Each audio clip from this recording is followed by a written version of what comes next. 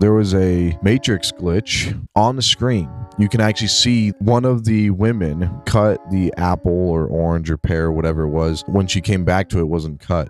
Like she cut it in half, so there's two halves. Then she cut the halves, and when she came back, there was just two halves and they weren't cut. Did you believe it was real? The first thought that went through my mind is maybe string theory. Yeah, like this could be uh, an abrasion of a quark packet, or I just I was just trying to figure out what your brain was thinking when you saw it. just it was a it was a strange phenomenon. And so, do you think it was real?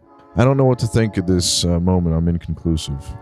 Yeah, it's just these weird phenomenons. They happen all the time, and you know, there's all kinds of stuff that happen where weird alien portals pop out of nowhere. Where they're, you know, the videos where people film these airplanes and it looks like they're just actually stuck in between two buildings. It's not to say that glitches can't happen. I guess it's just interesting everybody could watch it, and it was a real glitch.